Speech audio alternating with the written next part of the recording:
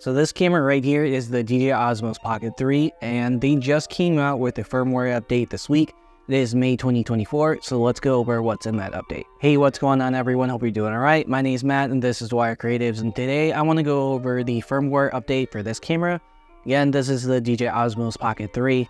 So let's dive straight into it. The first two things are to have to do with live streaming. When you're using this, when you're live streaming, you will now have the ability to use the ActiveTrack feature. And then if you're connecting this to your computer, you can now stream at 4K.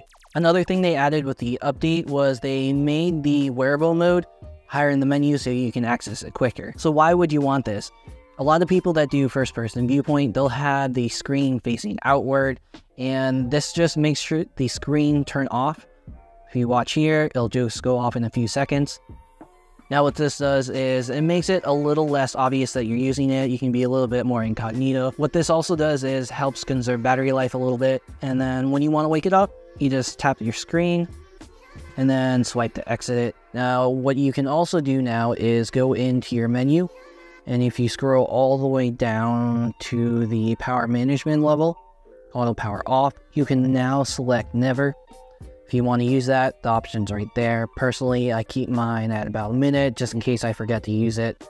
It's there. This is also going to update to a new mode. So we're going to go here and it's going to be this FPV lock. Now this is compared to FPV. FPV, if you go left, you go right, up, and down. You see the camera is a little bit slow, lag behind to where it's looking at. So let's go ahead and select FPV.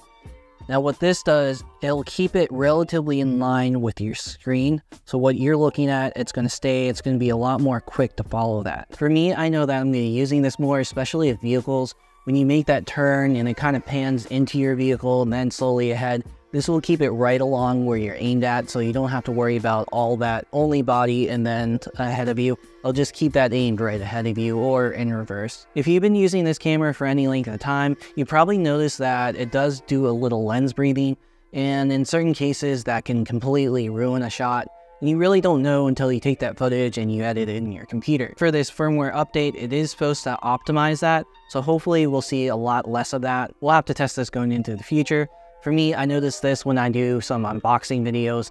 It just does it a tiny bit, enough to draw your focus away from the main picture. But for this firmware update, it is supposed to optimize that, so hopefully we'll see a lot less of that. So one of my biggest pet peeves with this is when you connect the DJI Mic 2 to this, has that little banner and you try to swipe it away and it doesn't do anything and then it just sits there and it's there and it's there and it's there and then eventually it goes away. Now with this firmware update, you should be able to just swipe it away so it's there for less than a second. Now the remaining things for this update are just small little things. They don't really go into specifics, but I'm sure they're like little optimizations and stuff like that. So that is it. That is all of the firmware updates for the Osmos Pocket 3 in May of 2024. If you have any questions, leave those below. And as always, thanks for watching and I'll see you next time.